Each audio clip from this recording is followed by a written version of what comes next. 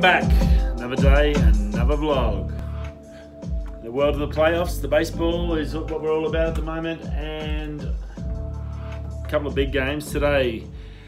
The Mighty Cards, my team, went down by three. Didn't get any runs, which is no good. Need to really score. It's got to get those bats going early, and we struggled all day. Both pitchers did amazing jobs. Our guy, young Jack Flaherty's had an awesome season. Got through seven, and Fulton Winskits, or however you say his name, sorry, uh, he did an awesome job as well, plus seven innings, and gets the win. Um, both were, yeah, only six, Cardinals only got six hits, nine innings, so yeah, just not enough hits. Um, we, he really had his slider going well, so that was really good. Um, you just yeah got to get some contact. Um, Molina, I think, got two hits at least that I know of, and he was just he just adjusted, just sort of stopped trying to hit it hard, which is sometimes a good thing, and just put bat on ball and, and just yeah chunk two into left field. So that was pretty good. And then on the other side, they just yeah they had uh, Duvall who's come back from Triple A this year from got traded from Cincinnati, got dumped down to Triple A. Um, he's had a couple of rough seasons and bounced back this year with a vengeance. Hit a heap of home runs in Triple A, then come back and then comes out in the first, in their play, second playoff game, hits a bomb for him. And it was just um, I think Jack was just getting a little bit tired. He just left the fastball up. It was a good fastball, mid-high 90s fastball and just in and just got it. He knew it was coming, loaded full count, so yeah, just smashed it. So uh, a bit of a tough loss for us, but good. We go into we should be going home now into St. Louis. We've one game apiece. We've got two, at least two games at home in front of our home crowd, which is a huge advantage for us. So I think we'll do fairly well out of that. Um, yeah, we've still got plenty of plenty of uh, action in the bullpen. So Atlanta had an injury one of their pitchers yesterday, so he's out. They've had to bring someone up. Uh, so they're going to be pitcher wise, are going to be a little bit tricky for them. They're going to have to do some shuffling. So um, we we're still not out. It's one all. It's uh, anyone's game. So we've just got to keep fighting. Go the cards. Uh, Dodgers lost 4-2. Had a terrible one. Looked like uh, didn't look real flash from the Dodgers. Only got five hits for the game, five hits, two runs, which isn't too bad for five hits. Uh, Nationals come out 10 hits, uh, four runs, two really good pitches again, Kershaw and Strasburg. Strasburg had 10 Ks, so just dominant on the mound. Kershaw probably didn't have his best game. Um, he sometimes struggles in the playoffs, I've found. Uh, normally during the season, he's pretty much untouchable for whatever reason. In the playoffs, he tends to have a little bit of not the yips, but just yeah, not as finely finely tuned, I guess you can say. But yeah, um, Wash, great job. Washington bounced back to come back and get 10 hits against Kershaw and the rest of the guys. I think Kershaw only went five innings. Um, so yeah, a bit of a struggle for him. Yeah, Dodgers. So that's one all there. Probably, I think after yesterday, uh, they'll probably you know, it's great to see Washington come back and Dodgers like a little bit, maybe a little bit overconfident and just didn't really perform today like they should have. So it'll be interesting. Um, what else? Yankees smashed.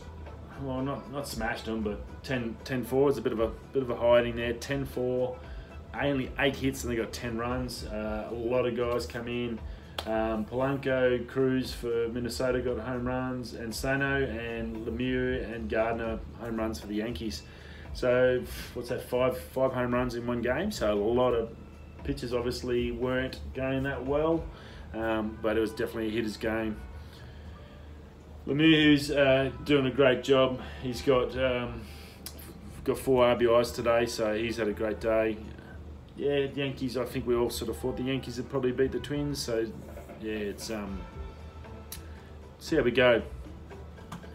I think the Yankees are probably going to get them fairly easy, the Twins. So I can't see them bouncing back too much. If the Yankees just need to keep hitting like that, so that was pretty cool.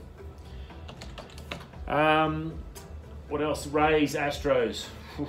Verlander. What a machine. Seven innings, one hit. He's a, he's a gun. He's a future Hall of Famer without a doubt.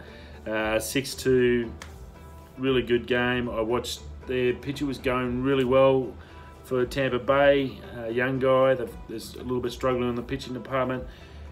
really well, and then Altuve just got him. I think what did was it? Let me just check.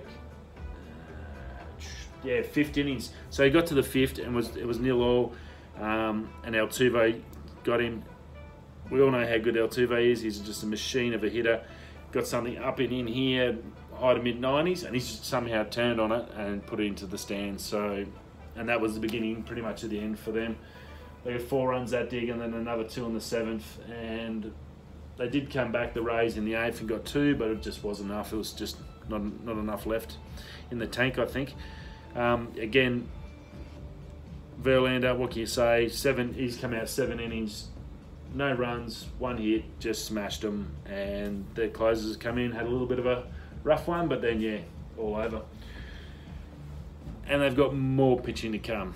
Houston. Uh, there was yesterday on the web uh, on one of my things, I did see, I think it was on Facebook, a guy from Houston, a big furniture store owner, old guy, put a th- I think it was $3.5 million US bet on the Astros to win the World Series.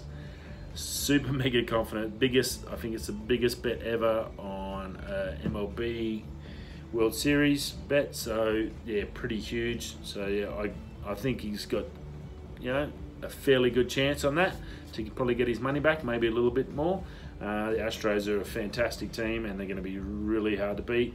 And if Verlander's pitching like that, um, seven innings, one hit, holy crap, that's that's really good. And uh, I'm not sure why they pulled him out one hit. Um, he's yeah, if you're pitching that well, they obviously had in the bag. They had by then they had six runs. I figured they'd just take him out and just make sure they've got he's got plenty of juice left for the rest of the games. So yeah, Astros a good start to their series. Um, I think they're going to do very well. Um, yeah, so a couple of good games. Yankees was probably the only one that was a little bit of a blown out one, but the rest sort of good. The Dodgers, from what I read, didn't have their best game. Um, more tomorrow. Uh, Yankees Twins at five o'clock in the morning. If you're watching this tomorrow morning, you have to get up early again for the Yankees. And then the Astros play the Rays game two at 9 a.m. or thereabouts in Australia. So a couple of other good games. The Astros Rays. I'm not sure who's pitching tomorrow. Just see if I can find that for you. See if they got the things. Okay, you got Tanaka for the Yankees and Dobnak for Minnesota, and oh, you got Tampa Bay, you got Snell, and you got Gerrit Cole. Gerrit Cole is a freak. He is a, another 20, 20 and 5 for the year with a 2.5 ERA. Like, they just have aces after aces after aces in Houston. Um, yeah, I'd definitely be putting my money on Houston again there. If Cole's anywhere like Verlander today, it uh, the only way they're going to be stopped is if they don't hit. So, and they have like some just elite hitters. Um, Minnesota, Tanaka, Tanaka, Minnesota pitches two and one, 1.5 ERA. He's all right, Dominic. Um, hasn't had too many wins, but uh, like that's a decent ERA. And Tanaka's sort of 50-50. He's either on or he's not. Um, a lot of ground balls, a lot of pop-ups. So he should go pretty well. Again, I think the Yankees just need to keep hitting. That's their secret. That's what they're going to do. And just go from there. So yeah, another two good games. Again, probably the Houston versus Tampa, another great pitcher to watch. Uh, definitely worth checking that out. That's it for the playoffs today for the baseball side. Very good. It's very exciting to watch it every day to get so much good baseball. Now, uh, the only other thing I wanted to talk about, not much tech around the weekends, we, as we know. Nothing ever happens. I'm not sure. Everyone sort of seems to have that weekend off, except for me. I keep working. Uh, lucky I get a smoko break to do this. New Fishing the Wild. I've been plugging it since the first the, the season started, and I've got another episode out. It's an old episode uh, from uh, Arnhem Land Billabong fishing for barra at night. Uh, it's a great episode. Yet again, the boys are doing a fantastic job. Um, some really good, beautiful silver barra they catch, um, which is billabong. They sort of tend to get a little bit dark. Uh, this was from a couple of years ago, so so it looked like they must have had a bit more rain, so a little bit fresher. Um, yeah, pretty wild. Some beautiful, some beautiful footage. Definitely worth watching. Get over there. I've chucked that on our Facebook page as well, so you can just hit the link and go through. But yeah, Fishing the Wild, new episode, Barra, Barra Nights out in Arnhem Land. Uh, beautiful place. Again, you needed permission to get out there. It's unspoiled, untouched Aboriginal land, and it's just an amazing place. I used to go there and grade roads when I was a young mechanic for the old man. Um, we used to go out and fix the machines. So I'm very lucky to be one of the few people that have been out there to, to witness it and see what it's really like. And that was back in the 80s or 80s, early or early 90s. So yeah, beautiful spot and some great fishing. Again, check it out. Definitely worth it. It's a, a they just do a fantastic job putting these uh, videos together. Awesome job, guys. Get over, check them out, support them. They're promoting the territory, which is a fantastic place. Again, see you in the NT. Get up there, go fishing. Don't forget, while I do have you, the Million Dollar Fish is started again October this month if you haven't already registered. Um, if you're not sure if you're going up to Darwin to go fishing, doesn't matter, still registered. You can win, they have monthly prizes that you can win anyway. Um, so it's better to register now. You might win something. Think of me. If you do, chuck, it, chuck me something, chuck a dog a bone. But if not, you might be going up before March in a year, so you can you already are registered, so don't have to worry about it. You, the last thing you want to do is get up there or go fishing and catch a tagged fish if not been registered because that would look bad. You, you might have 10 grand, you might have the million dollars. Now don't forget, that I think there's six million dollar tags now, so there's five previous tags and then the new tag for this year. Uh, so that's six, six options to get a million bucks if you catch the right barramundi. So that's an amazing thing done by the NT government. So register, go fishing. Uh, what's what's the wet season sort of coming up for us, but they haven't had much rain, so definitely have a look, suss it out. There's some great options there. There's plenty of guide, guides that can take you fishing. There's some amazing places. If uh, you're just in Darwin for a short time, go out and see the Barramundi Adventure guys. Uh, you can go out there and catch a barra. You don't need anything. You can just book in and rock up and have a fish. Um, and you can just take a hire car out there. So there's plenty of options and it's an amazing, beautiful place.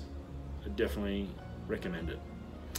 Anyway, that's enough from me. I hope you have a great Saturday night. Have a beer from me or a nice glass of red, a nice little Shiraz or something. It's still a little bit cold, so you could probably jump into a little cab sav or something. That'll probably go down well and I'll see you all tomorrow. So wherever you're coming, home from work, going out to dinner, or having a few beers with the lads. Have a great night, and I'll see you all tomorrow. See ya.